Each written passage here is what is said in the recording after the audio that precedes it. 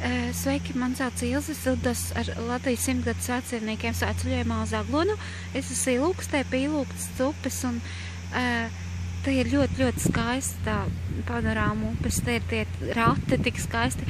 Ūdens bija augstāks nekā, man likās, jūrā. Ne, nu, uh, varbūt tā kā jūrā, bet, nu, tā kā ezerā, augstāks nekā ezerā, bet, nu, bija ļoti forši. Es pirmo reizi izpeldējos šogad upē un pa vairākiem gadiem upē pirmo reizi izpeldējos, jā.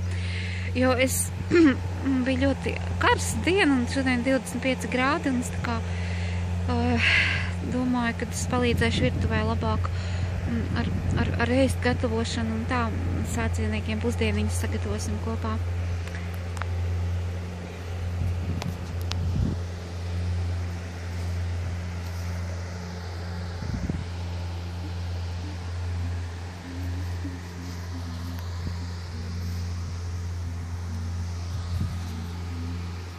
Jā.